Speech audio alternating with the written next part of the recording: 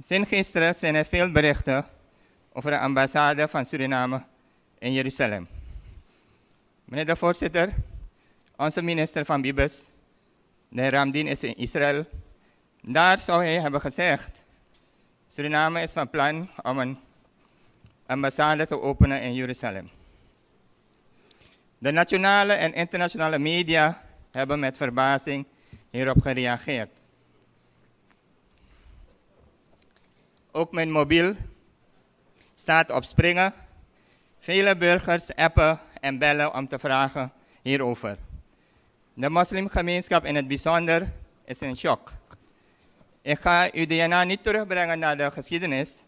U weet dat Jeruzalem heel gevoelig ligt. Op dit moment hebben slechts vier landen een ambassade in Jeruzalem, te weten VS, Guatemala, Honduras en Kosovo. Kijkt u, meneer de voorzitter, in welke rij Suriname zich aansluit? Guatemala, Honduras en Kosovo. Is dit wat we willen? De rest van de landen in de wereld hebben een ambassade in Tel Aviv.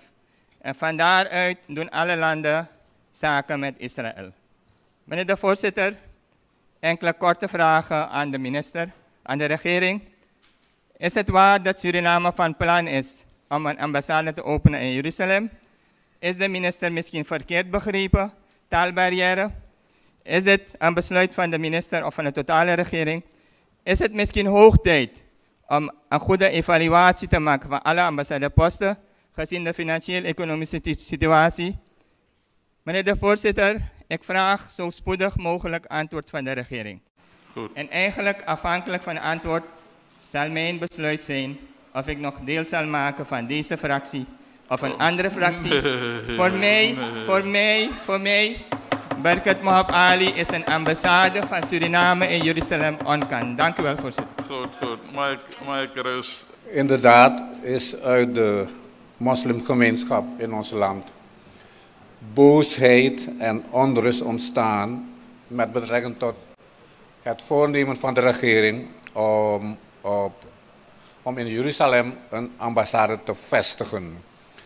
Gaande vernemen van de regering welke geopolitieke overwegingen bij dit besluit een rol hebben gespeeld. Zijn we vergeten dat wij in de jaren 90 in de vorige eeuw zijn toegetreden tot OIC en we zijn lid daarvan en wij weten voor uw oriëntatie, 71% van de landen bij de VN hebben wat dit betreft een andere opvatting dan wat Suriname thans voornemens is te gaan doen.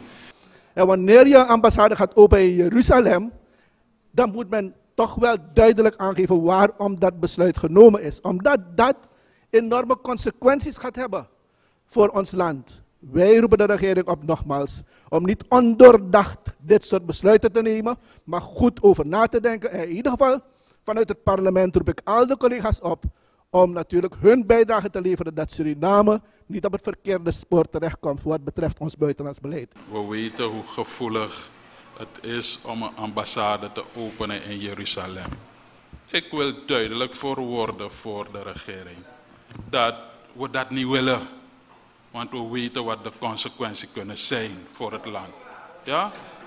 Er moet geen ambassade komen in Jeruzalem. Ja, we gaan ons niet in die positie plaatsen. En dat is een duidelijke opdracht vanuit de Nationale Assemblée aan de regering. Nee, leden, wat gebeurt er? Dat doen we toch niet.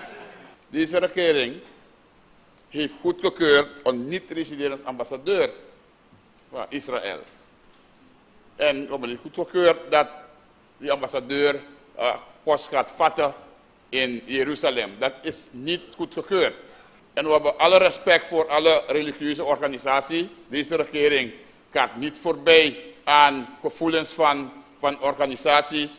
En dat hebben we ook gehoord gisteren. Ik was bij de president. Ja, en dan heb ik gezegd, we wachten totdat uh, de minister terugkomt. Maar in ieder geval, er is geen enkele twijfel dat er een, een, een post gevat zal worden in Jeruzalem. Dus ik wil jullie daar geruststellen.